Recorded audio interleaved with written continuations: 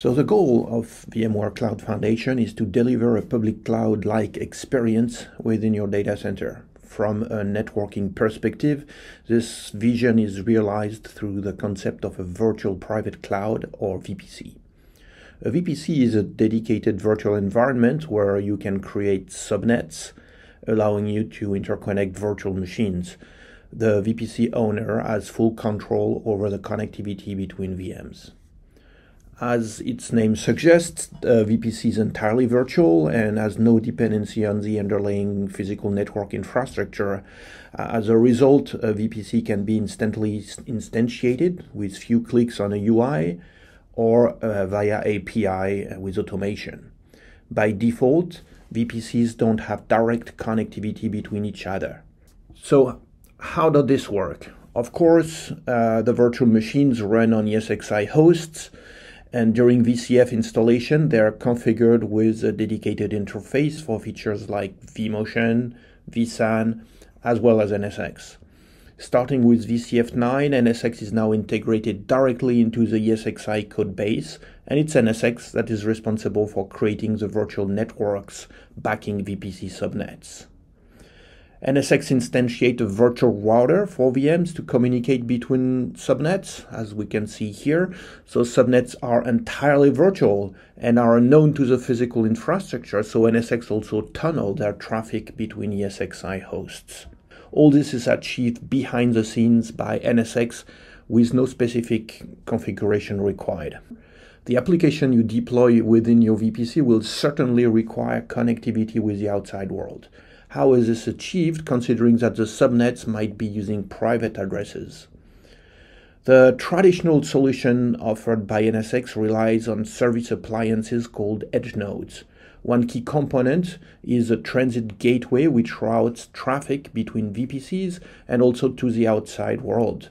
The benefits of this solution is that peering with physical network devices is only required where the edge nodes are deployed, and the edge can also run additional advanced services. VCF9 introduces a new option where a distributed version of this transit gateway is instantiated on each ESXi host. With this model, there is no need to deploy edges and the traffic from VMs in VPCs can be routed directly to the physical infrastructure. Those benefits are achieved by connecting all the hosts to some common public network whose IP addresses will represent VMs externally. Here, for example, we're representing network 10.0.0/16 connected to all ESXi hosts. If a VM on host 1 requires external connectivity, it will be assigned an IP address in this 10.0.0/16 network. Most physical networks already provide the option to safely extend a subnet between racks. This is typically achieved with EVPN and VXLAN. In the following demo, we will show how this is set up directly from vCenter in VCF9. So this is a view of the vCenter UI. Notice that VCF9 introduces uh, new vCenter options for VPCs, VPC subnets, and network connectivity. We're going to set up network connectivity for our VPC first. So in this screen, we'll offer to select one of the two options we described earlier on, connectivity through centralized uh, transit gateway on edge or distributed transit gateway with no edge. We're going to select the second option. We're acknowledging the specific requirements for this option. And here we're prompted to specify the network defined in the physical infrastructure to which all the ESXi hosts are connected. So we enter a VLAN ID, a default gateway, and the size of the block the VPCs will be using to allocate their public addresses within this subnet. The last block, private transit gateway IP blocks, allows the transit gateway to allocate addresses routable between VPCs. And that's it.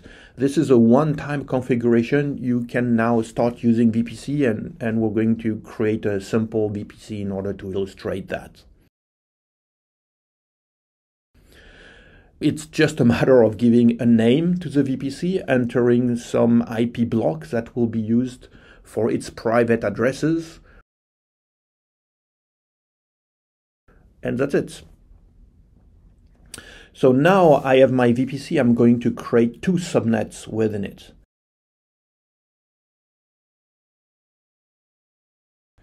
App subnet with enough space to allocate 256 IP addresses, so it's basically a slash 24 subnet. And I'm also enabling a DHCP server here. Here you can see my subnet has been created. It was allocated subnet 172.16.00/24 and this is taken from the private block we defined earlier on in the VPC. You can also see the IP address of the default gateway and the DHCP server. Now I'm going to create a web subnet using the same parameters basically.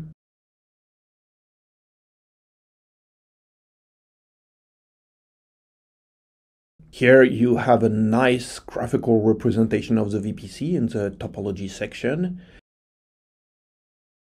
And finally, I'm going to attach one virtual machine to each of those subnets to test connectivity. So this is exactly the same procedure as attaching a VM to a DVPG. You'll notice that there is now a VPC subnet option uh, when selecting a network. So web is attached to web subnet and uh, AppVM is attached to app subnet. At that stage, you can see that my web VM has retrieved via DHCP and IP address in the subnet. The topology view also shows that each subnet now has a VM. So I want my web VM to be accessible from the outside world. I'm going to assign it an IP external address. This is achieved in a very simple way by selecting external IPs.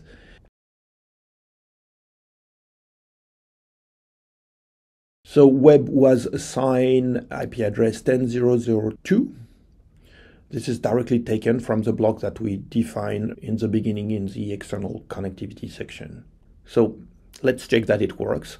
From my workstation, I can ping the web VM address and I can log into it. Once inside, I can show the real address of WebVM. That's 172.16.1.3. So NSX has automatically translated 10002 to this internal address in order to provide connectivity from the outside world. WebVM is on the VPC, so it can reach the AppVM via its private address.